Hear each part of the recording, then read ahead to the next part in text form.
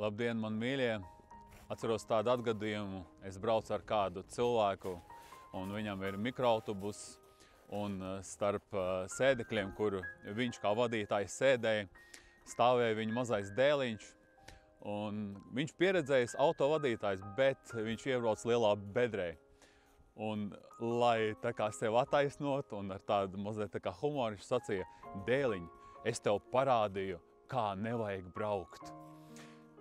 Mēs šodien arī izskatām šos gadījumus Izraēla tautā. Viņi varbūt ir negatīvi, bet mūsu tēvs saka, dēliņ, meitiņ, es tev rādu, kā nevajag darīt.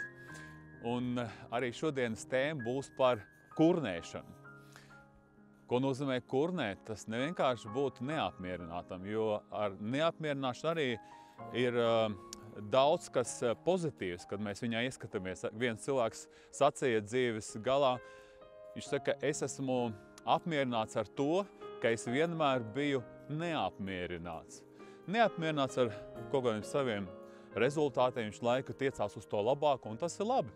Bet kurnēšana ir būt neapmierinātam ar Dievu plānu savā dzīvēm.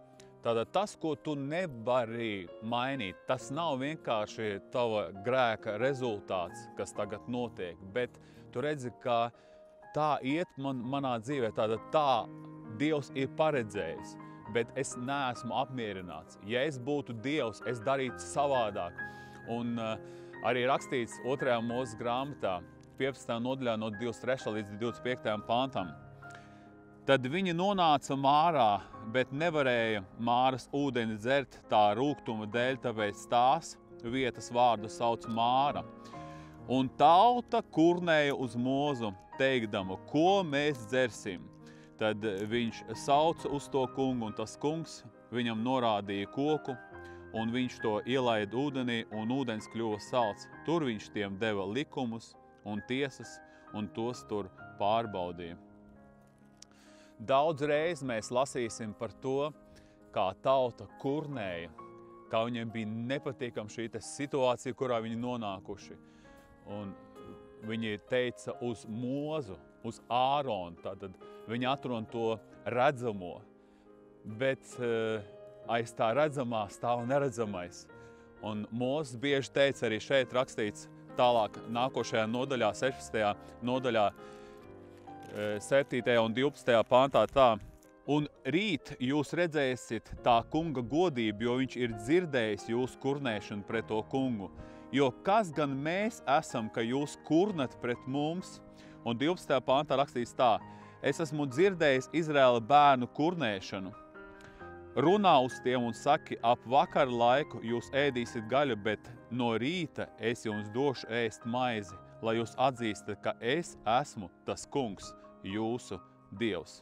Izraels bija vadīts ar Dievu varu no roku. Dievs izveda no Ēģiptes, parādīja savus brīnumus, savus zīmes, ka viņš ir liels un spēcīgs, ka ne Mūzus viņus izved, ka tas nav Mūzus plāns, bet tas ir Dieva plāns, un tikai jums ir jāpakaļaujas tam. Mūsu dzīvē arī gadās tādas situācijas, ka mēs nonākam līdz eh, kaut kādai sienai un mēs atduramies. Un liekas, eh, mēs sitamies, bieži vien tā kā putns ielido e, kaut kur kaut kādā telpā un viņš sitās pret stiklu, viņš grib izlidot laukā, viņš nekādīgi nevar tikt. Bet kas ir jāizdara mums? Mums ir jāklausās uz mūsu kungu. Mēs neredzam, kā Izraēla tauta lūgtu Dievu Kristu ceļos un teikt, Dievs palīdz, mums vajadzīgs šeit ūdens, mums vajadzīgs šeit maize, mums Eh, mēs gribētu gaļu un lūdzam Dievs svētī mūs. Viņi nē, viņi uzreiz reaģē pēc miesas, bet te parādījās viņu neticība. Tātad viņi neredzēja to neredzamo Dievu, kurš ir ar viņiem. Tātad viņi aizmirsa Dieva spēku, viņi rīkojās pēc miesas un tādā veidā viņi negodināja Dievu. Dievs arī šodien ir tavā un manā dzīvē, Ir dažādas mūsu dzīves situācijas. Nevienmēr mēs visu varam uzreiz saprast, tātad, kāpēc tas tā, bet vienu mēs zinām, ka Dievam ir plāns, Viņš mūs vada. Ir šī grūtā situācija, varbūt arī tagad tavā dzīvē, un es saku, kur ir Dievs? Viņš man ir atvedis šo situāciju, un viņš tagad ir man šeit pametis. Un, lai tagad es pats te kaut kā ķepurojos laukā, zinu to, ka Dievs ir ar tevi. Dievs tev palīdzēs. Viņš saka, lūdzu, es atbildēšu, klauvē. Tas nav vienkārši kā viena reize paklauvē, bet klauvē. Un kāpēc Dievs tā dara? Kāpēc neuzreiz nāk atbilde? Dievs grib, lai mēs uzticamies, lai mēs sākam redzēt ar garīgajām acīm, lai mēs esam pateicīgi Viņam.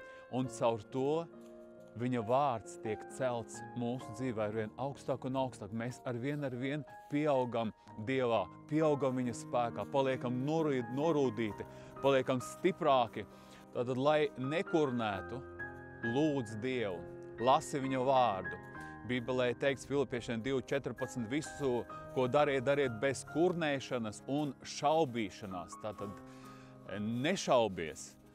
Dievs ir uz troņa, Dievs ir tavā dzīvē, Dievs pavada tavu dzīvi. Viņš redz visu, pat mats no tavas galvas bez viņa ziņas nekrīt. Tāpēc Dievs saka, savu nastu liec pie manām kājām. Es atbildēšu un palīdzēšu tev. Lai Dievs tev svētī uz redzēšanos!